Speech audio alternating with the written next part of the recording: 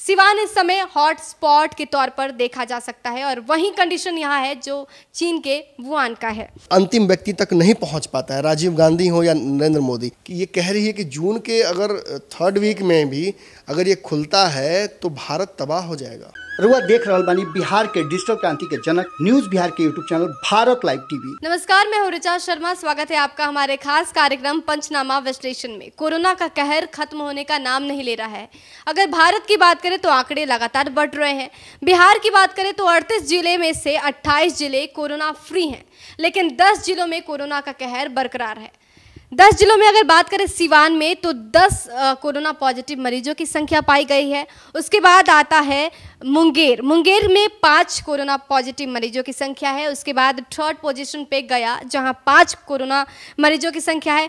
पटना में भी पाँच, बेगूसराय में तीन, गोपालगंज में तीन, नालंदा में दो भागलपुर में एक सारण में एक, लखीसराय में एक। इन सब जिलों को अगर छुड़ा दें तो 28 ज़िले कोरोना फ्री हैं। ये अच्छी खबर है कि 38 ज़िले में से 28 जिलों में कोरोना का कहर नहीं मिल रहा है। लेकिन 10 ज़िले ऐसे हैं जो कोरोना के चपेट में हैं। उनमें से भी हॉट सीट जो कह सकते हैं, हॉट स्पॉट बोल सकते हैं, जहाँ कोरोना का कहर है, जो काफ़ी बढ़ रहा है, वो है सिवान। सिवान इस समय हॉट स्पॉट के तौर पर देखा जा सकता है और वही कंडीशन यहाँ है जो चीन के वुहान का है। इसी बीच अमेरिका ने एक बड़ा खुलासा कर दिया है। दरअसल अमेरिकन कंसल्टिंग फर्म की माने तो ऐसा खुलासा हुआ है, ऐसी बातें की गई है जिसको सुनकर आप दांतों तले उंगली दबा लेंगे। अमेरिका का कहना है कि जून के तीसरे अगर स्टेज की बात करें जून के तीसरे हफ़्ते की बात करें तो उस समय कोरोना का कहर चरम पर होगा और उस समय कोरोना सबसे ज़्यादा कहर बर पाएगा। इसको लेकर अपडेट्स ये भी है कि सितंबर तक भारत को आ, अपना लॉकडाउन बढ़ाना पड़ेगा तभी हम कोरोना से बच पाएँगे। इन सभी मुद्दों पर बात करेंगे इन सभी मुद्दों पर चर्चा होगी। और आज इस वक्त हमारे साथ हमारे editor in chief Naman Mishra ji हैं। सर जिस तरह से चौंकाने वाले खुलासे हुए हैं अमेरिका की तरफ़ से कितना असर होगा इसका भारत पर? देखिए सबसे बड़ी बात मैं बता दूँ कि ये जो अमेरिका की एजेंसी है इसने सार्क और और अन्य जो वायरसेस रहे हैं इनको लेकर भी जो एपिडेमिक्स हुई हैं उन पर भी जो एक, एक हम बार बार कहते हैं एक ऐसा वायरस आया था इबोला जो कि साउथ अफ्रीका में काफ़ी तबाही मचाया था उस पर भी इन्होंने डेटा चर्निंग की थी। अब जो इस एजेंसी ने दावा किया है और जो मॉडल इसने यूज़ किया है, जैसा कि हम कहते हैं क्रिकेट में हम यूज़ करते हैं डकवर्थ लुइस मेथड का, उसी तरीके से जॉन हॉपकिंस मॉडल एक जो है विश्वविद्यालय में, उस पर आधारित जो डेटा, यानी जनसंख्या का घनत्व लोगों की पर कैपिटा इनकम लोगों का जो जो दिनचर्या है जो सोशल बॉन्डिंग है किस तरीके की है मतलब कई ऐसे देश हैं, जैसे इटली इटली, जहाँ पे लोग बड़ा कंपैशनेट होते हैं, एक दूसरे के बड़े करीब रहते हैं। और कई देशों में लोग सोशल डिस्टेंसिंग मेंटेन करते हैं पहले से ही। तो जहाँ मेंटेन होता रहा है, वहाँ तो बहुत प्रॉब्लम नहीं है, लेकिन भारत जैसे सघन जनसंख्या वाले देश में, जहाँ एक स्क्वायर फुट में बहुत ज़्यादा लोग रहते हैं, इस स्थिति में जो डेटा एनालाइज करके निकाला गया है रिज़ल्ट ये बहुत डरावना है। हम बात कर रहे हैं चौदह मार्च को माफ़ कीजिए, चौदह अप्रैल को कि ख़त्म कर देंगे हम लॉकडाउन हम उस स्टेज में नहीं हैं। नरेंद्र मोदी ने मैं एक ही बात बोलूँगा शुरुआत हम आइस ब्रेकर से ही करें कि कई लोग हमसे सवाल कर रहे हैं, फ़ोन कर, करके कि अब क्यों ये बात कह रहे हैं कि लॉकडाउन आगे बढ़ेगा? कितने, कई लोग सवाल पूछ रहे हैं कि लॉकडाउन कब खुलेगा, ये बता दीजिए। मैं आपको एक ही बात बोलूँगा और आप समझ जाइएगा कि लॉकडाउन कब खुलने वाला है। अगर लॉकडाउन चौदह या पंद्रह या बीस या पच्चीस को खुलने वाला होता तो सरकार आपको तीन महीने का राशन क्यों देती? सरकार आपको तीन महीने का पेंशन क्यों देती? सरकार आपको लगातार घर में रहने की हिदायत क्यों देती? तीन महीने तो जब सरकार आपको राशन ही दे रही है तो समझ लीजिए कि मामला बहुत बिगड़ा हुआ है। सरकार अगर आपको, आप समझ सकते हैं भारत किस तरह का देश है, किस तरह की आर्थिक माने जो चैलेंजेस हैं उनको हम झेलते हैं खाद्यान्न हमारे यहाँ कैसे हैं, उन खाद्यान्नों को पहुँचाने के लिए लोगों तक तो कितना मेहनत करना पड़ता है? आपको पता है, हमारे यहाँ राशन डिस्ट्रीब्यूटिंग सिस्टम किस तरह का, कितनी पेचीदगी से बना भरा हुआ है अंतिम व्यक्ति तक नहीं पहुँच पाता है, राजीव गांधी हो या नरेंद्र मोदी, सभी ने इस बात को माना है। और आज जिन परिस्थितियों में हम ये बात कह रहे हैं कि लॉकडाउन खुल जाना चाहिए हमें खुद से भी सवाल करना पड़ेगा। सरकार से बाद में कीजिएगा कि तीन महीने का राशन जब सरकार दे रही है, वो सरकार जिसके पास पैसा नहीं है, आपको पता होगा कि इस लॉकडाउन से पहले ही भारत आर्थिक मंदी से गुजर रहा था। और जब तीन महीने सरकार हिम्मत करके आपको कह रही है कि लीजिए, राशन घर पर रहिए तो समझ लीजिए कि तीन महीने से ज़्यादा सरकार सोच कर चल रही है कि ये जाएगा। अब हम वास्तविक बातें करते हैं फैक्ट्स की बात करते हैं। देखिए, कल भी हमने एनालाइज किया था, हमने बताया था कि जो डॉट्स हैं अलग अलग वो कनेक्ट करके क्या स्टोरी बन रही है, कितने दिन तक लॉकडाउन चल रहा है। छः महीने तक मैक्सिमम ये लॉकडाउन हमें दिख रहा है, जिस स्थिति में हम। हम किसी को भ्रमित नहीं करना चाहते, क्योंकि हमारे पास एग्जैक्ट डेटा नहीं है। हम जो अलग अलग आंकड़े हमारे पास प्रस्तुत हो रहे हैं और अमेरिका की एजेंसी ने जो दावा कर दिया है, इस पर चर्चा करने आज बैठे हैं। तो एक बात तो बिल्कुल स्पष्ट लग रही है कि चौदह तारीख को तो लॉकडाउन नहीं खुलेगा। ये बातें तो नरेंद्र मोदी और नीतीश कुमार ने भी साबित कर दी हैं। उन दोनों के बीच में जो बात हुई हैं, उन बातों के फलसफा के तौर पर भी ये निकला है कि ये नहीं खुलेगा। अब कब खुलेगा? बात हो रही थी कि अप्रैल के बाद मई में या मई के बाद, जून में या जुलाई में इन परिस्थितियों में कहीं खुल सकता है लॉकडाउन लेकिन ये जो एजेंसी है, जिसे आपने बहुत सही कहा कि ये कह रही है कि जून के अगर थर्ड वीक में भी अगर ये खुलता है तो भारत तबाह हो जाएगा। भारत को बचा नहीं पाएगा लोग। अच्छा अब अब कह सकते हैं कि हम वुहान से क्यों कंपेयर कर रहे हैं सिवान को?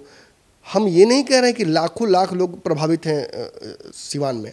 हम ये कह रहे हैं कि जिस तरह से चीन का एक घनत्व है, एक अपना क्षेत्रफल है, और उस रेशियो को अगर हम सिवान में इम्प्लीमेंट करते हैं तो एग्जैक्टली फिट बैठ रहा है।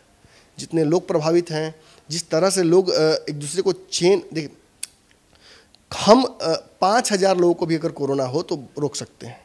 अगर हमारे पास एग्जैक्टली exactly पता हो कि ये लोग बाहर से आए हैं और इन लोगों को हम सैनिटाइज कर देंगे तो इनमें से कई लोग बच भी जाएँगे, अगर कुछ कैजुअलिटीज़ होती भी हैं तो ये फैलेगा नहीं और लोगों तक। लेकिन प्रॉब्लम क्या है कि सिवान में लोगों को खुद नहीं पता है टेस्टिंग किट्स नहीं थी। तो thanks gods to Melinda Gates Bill Gates foundation की उन्होंने चौदह हज़ार टेस्टिंग किट्स भिजवा, पंद्रह हज़ार के आसपास टेस्टिंग किट्स भिजवा दिया। नरेंद्र मोदी जी तो नहीं भिजवाया। नीतीश जी मांगते रह गए। ऐसे ही नीतीश जी को अब मांगने की आदत हो गई है, खैर उस पर चर्चा मैं नहीं करूँगा। लेकिन इनकी मांगें पूरी नहीं हो रही हैं। जनता की वैसे ही हालत है, जनता भी मांगती है, नीतीश कुमार देते नहीं है। तो कर्मा कहीं ना कहीं रिफ्लेक्ट कर जाता है। अब बात कर रहे हैं कि बिहार में, सिवान में जिस तरह से पाँव पसार रहा है कोरोना, ये कोई नई बात नहीं है, ये पसार चुका था। जो चेन रिएक्शन की बात हम कर रहे थे कि, देखिए, चीन में कैसे लोगों ने अपने आप को बीमारी से अलग किया। लोग एक दूसरे से मिले नहीं, बीमार लोगों को अलग रखा गया। हमारे यहाँ पता ही नहीं है कि कितने लोग बीमार हैं। आपने कहा, रिचा, कि अट्ठाईस ज़िले में एक भी लोग को नहीं पकड़ा गया है। वाह, बहुत खुशी की बात है।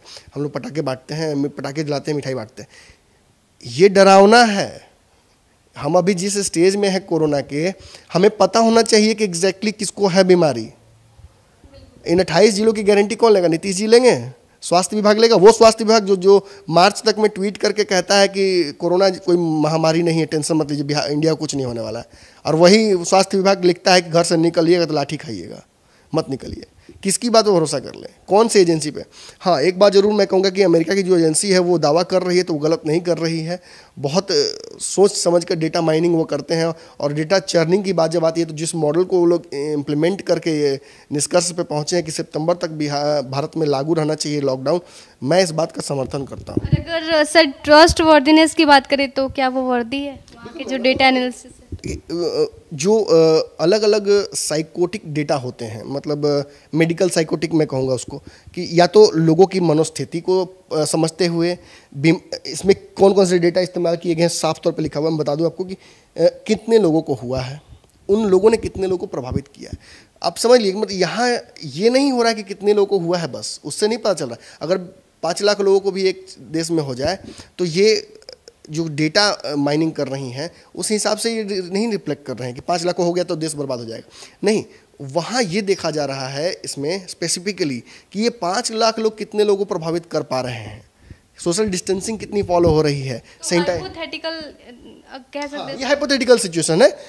एक बिल्कुल हाइपोथेटिकल ही ये रिज़ल्ट निकल रहा है। भगवान न करे ऐसे रिजल्ट्स निकले और ऐसे स्थितियों तक पहुँचना पड़े। लेकिन जो हमारी सरकारें हैं और जिस तरह से हाइड्रोक्लोरोक्विन जो हम बार बार कल से कह रहे हैं, इस दवा को, निर्यात को लेकर भारत ने रोक लगाई थी और अब इंटरनेशनल प्रेशर की वजह से हमें पहुंचाना पड़ रहा है। ब्राज़ील के प्रधानमंत्री इमोशनल करके मोदी जी को चाह रहे हैं कि किसी तरह से हाइड्रोक्लोरोक्विन ले लिया जाए। कल तक उनको दो, लक्ष्मण नज़र नहीं आ रहे थे, हनुमान नज़र नहीं आ रहे थे। रामायण एक काल्पनिक कथा लग रही थी लोगों को। अब ब्राज़ील के प्रधानमंत्री को हनुमान जी के बारे में अच्छे से पता है, वो जानते हैं कि संजीवनी बूटी लेकर हनुमान जी कैसे आए थे, और वही काम नरेंद्र मोदी लेकर तो नरेंद्र मोदी इतने भी हनुमान न हो जाए कि अपनी ही पूछ में आग लगा दें और अपने ही पूछ को जला लें, क्योंकि उस पूछ के सहारे हम सब भी जुड़े हुए हैं। अगर अमेरिका हमारे साथ व्यापारिक रिश्ते ख़त्म कर लेगा, अगर ब्राज़ील हमारे साथ व्यापारिक रिश्ते ख़त्म कर लेगा, ख़त्म कर ले। ऐसे भी इस वैश्विक मंदी से कोई बचने वाला नहीं है।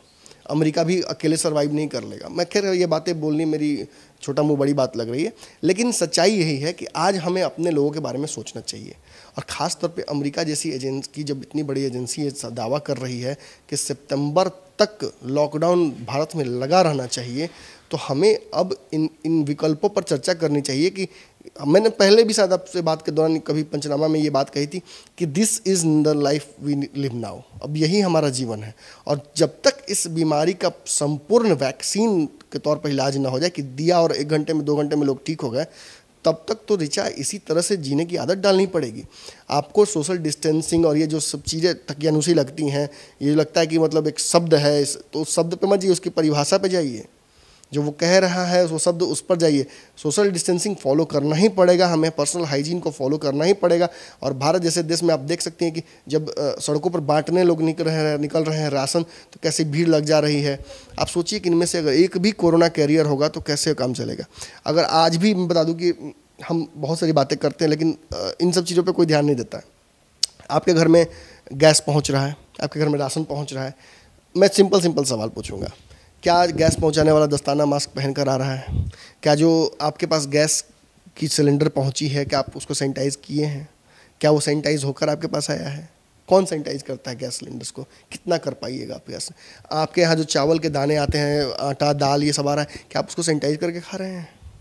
क्या जो किराना व्यवसायी है, वो रोज़ ग्लव्स चेंज कर रहा है दो घंटे पर? क्या वो नैपकिन और जो चीज़ें हैं यूज़ करने के लिए वो कर रहा है? क्या आप गारंटी लीजिएगा कि जो खाद्यान्न पड़े हुए हैं, जिनको सुरक्षा की, उसको जिम्मेवारी दी गई है एफ़ सी गोदाम में पड़े हुए हैं, उनमें जो कर्मचारी काम कर रहे हैं, उनमें से किसी को कोरोना नहीं है?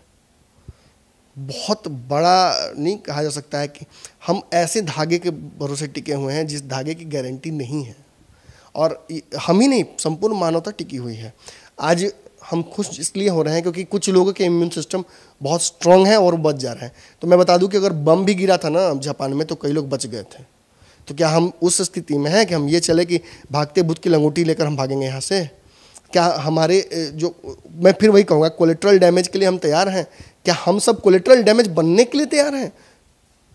ये बड़ा सवाल है और मैं सरकारों को भी कहना चाहूँगा, दर्शकों को भी कहना चाहूँगा, जो लोग बहुत बेचैन हैं कि मैं गया में फंसा हुआ हूँ, मैं गोवा में फंसा हुआ हूँ, आपकी जगह केरला में फंसा हुआ हूँ, आप फंसे हुए हैं, जीवित हैं, यही आप आज का सत्य है। अगर आप भागने के चक्कर में पड़ जाते हैं तो आपको पता है कि हम बार बार ये बात कह रहे हैं कि दस में से तीन लोगों को कोरोना संदिग्ध हैं, ये खुद सरकार कह रही है।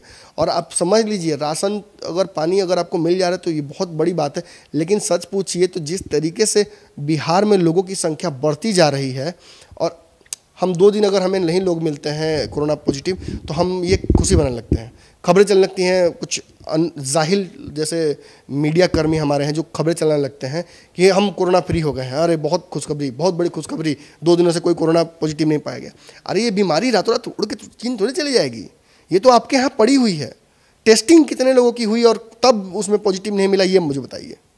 आपने कितने बाहर से आए लोगों को स्क्रीनिंग की और उसमें पॉजिटिव नहीं मिला, ये मुझे बताइए। ये आंकड़े सार्वजनिक कीजिए ना। जाँच एजेंसियाँ अपने हिसाब से चीज़ें छुपाती हैं। जो सरकार है, उनकी भी मजबूरियाँ हैं। मोदी जी पहले दिन भी आकर बोल सकते थे कि दो तीन महीने के लिए तैयार रहा। जाम लगेगा कर्फ्यू लगेगा, लाठी खाना पड़ेगा। लेकिन वो नहीं बोलते हैं। वो कहते हैं कि एक दिन का हम कर्फ्यू मनाएँगे और हम देखेंगे। रात में लोग आके झाड़ बजाने लगते हैं रोड सड़क पर निकल जाते हैं। हम फिर एक महीने की तैयारी करते हैं चौदह तारीख के लिए। लोग कहते हैं, चौदह तारीख को तो रिलैक्स खुल जाएँगे, कोई शादी की अपनी तैयारी कर रहा है, कोई कुछ कर रहा है, कोई प्लान बना, कोई वेकेशन के प्लान बना रहा है। अभी ऐसा नहीं हो सकता है। हम भारतीय हम हम बहुत तरह की अवधारणाओं से ग्रसित हैं। मैं भावना भावना जो धार्मिक भावनाएँ हैं, उनको भी आहत नहीं करना चाहता हूँ। हमें लगता है कि हमें भगवान बचा लेंगे, हमें लगता है कि हम सबका सम्मान करते हैं, प्रकृति की विजत करते हैं, हम सब कुछ करते हैं। लेकिन हम ही वो लोग हैं जो सड़कों के किनारे पेशाब करते हैं, थूकते हैं गाड़ियों में से। हम ही वो लोग हैं जो अनफॉर्चुनेटली ये बात कहनी पड़ रही है कि मेट्रोज़ में सिटीज़ में भी जाकर हम वहाँ गंद फैलाते हैं। चाहे वो सोशल गंद हो, अब ये बातें बुरी लग सकती हैं, लेकिन बुरी लगनी भी चाहिए। चाहे सोशो पॉलिटिकल हो या वास्तविक प्रैक्टिकल तौर पे गंदगी फैलानी हो, बिहारी लोगों को सेल्फ हाइजीन के बारे में नहीं पता था। और अब एट कॉस्ट ऑफ़ लाइफ हमें सीखना पड़ रहा है। ये बहुत दुखद है। ये इस तरह का है, रिचा जी, अगर मैं समझाऊँ इसको, कि कोई बच्चा पढ़ाई नहीं कर रहा हो पाँचवीं क्लास तक और उसे सीधे आप कह दीजिए कि मैट्रिक निकालो बेटा। तुम इन, सीधे टेंथ का एग्ज़ाम दोगे। तो उस स्थिति में बिहार चला आया है। सोचिए कितने लोग पास करेंगे। अगर सरकार की बात की जाए तो केंद्र सरकार में हमने देखा कि सभी जो भी सांसद है सांसद निधि फंड को भी दो साल के लिए स्थगित कर दिया गया और बाकी सब राष्ट्रपति उपराष्ट्रपति और जो गवर्नर है राज्यपाल जो है तो- तनख्वाह देने के पैसे ही नहीं रहेंगे। आप थर्टी परसेंट फोर्टी परसेंट क्या हंड्रेड परसेंट तनख्वाह आपको रोकना पड़ेगा। और मैं बस यही मना रहा हूँ संपूर्ण मानवता के लिए कि बिहार जो है वो कोरोना से बहुत जल्दी निजात पा ले। जितनी जल्दी हो सके, जल्दी तो लग नहीं रहा है कि मिलेगा, लेकिन फिर भी निजात पा ले क्योंकि बिहार, जैसे मैं फिर कहूँगा कि जैसे बिहार के लिए, सिवान बिहार के लिए वुहान है, वैसे ही बिहार इस देश के लिए वुहान हो जाएगा। और उस स्थिति के लिए हम तैयार नहीं हैं किसी भी तरीके से। आप समझ लीजिए, मैं फिर उस बात को रिपीट करना चाहूँगा कि जब नरेंद्र मोदी जी टेस्टिंग किट्स नहीं दे सकते, उतना जितना मांगते हैं नीतीश जी वेंटिलेटर्स नहीं हमारे पास अब तक आए हैं तो हम हम अपने ही देश में खुद थर्ड वर्ल्ड कंट्री के जीवन को जी रहे हैं। सबसे निष्कासित, सबसे नहीं होता कि चावल के, को धोने के बाद जो पानी, वो माड़ बचता है, उसको फेंक दिया जाता है। हम वो हैं इस देश के। हमारी आवश्यकता सबको है, हमें पोषण है, हमें सब कुछ है। हमारी मिट्टी, मैं फिर शायद भावनात्मक तरीके से जा रहा हूँ उस तरीके हमें हमारी आवश्यकता पूरे देश को है। लेकिन हमें जब आवश्यकता पड़ती है, हम जब, मजबूरियों में होते हैं तो हमें छोड़ दिया जाता है, चाहे वो प्रधानमंत्री नरेंद्र मोदी हो या कोई हो। तो ये बड़ी अपडेट सामने आई है और जिस तरह से डेटाबेस बनाया गया है अमेरिका के द्वारा और जो खुलासा हुआ है वो कहीं ना कहीं ये साबित करता है। हाइपोथेटिकल हो सकता है लेकिन कहीं ना कहीं ये साबित भी करता है कि लॉकडाउन सितंबर तक बढ़ेगा क्योंकि उनका अ, कहना है और जो डेटाबेस बनाया गया है जो रिसर्च पेपर कहता है वो कहीं ना कहीं कटाक्ष करता है और ये बातें स्पष्ट करता है कि जून के बाद यानी जून के तीसरे अगर सप्ताह की बात करें तो तीसरे हफ़्ता से कोरोना का कहर काफ़ी बढ़ेगा और इसी कारण लॉकडाउन भी बढ़ जाएगा। तो सितंबर तक बातें की जा रही है अमेरिका के द्वारा। बहरहाल, भारत में क्या कुछ होगा, ये भी देखना दिलचस्प होगा। आपको क्या कुछ लगता है? अमेरिका के इस दावे में आपको कितना दम दिखता है? वो हमें कमेंट बॉक्स में ज़रूर बताएँ। बने रहे हमारे साथ। अगर आपको हमारा ये शो अच्छा लगता है, पंचनामा विश्लेषण आपको बहुत पसंद आता है, क्यों पसंद आता है, हमें ज़रूर बताएँ। हम जानना चाहेंगे आपसे कि आखिर आप पंचनामा विश्लेषण देखते हैं तो किन उद्देश्यों के साथ देखते हैं? नमस्कार। अगर ये वीडियो पसंद आई और वह बिहार के राजनीति और बिहारियत से सरोकार रखेनी तो सब्सक्राइब बटन दबा के चैनल के सब्सक्राइब कर ली। ओजे एगो घंटी बा। ओकरा बटन दबा देला से कुल सटीक और मारक खबर रुआ मुफ़्त में मिल जाई। अगर रुआ पत्रकारिता के हमनी के नया प्रयोग में सहयोग कर चाहतानी तो ज्वाइन बटन दबा दी। पेटीएम नंबर नोट कर ली nine three eight six eight one six seven double zero. धन्यवाद।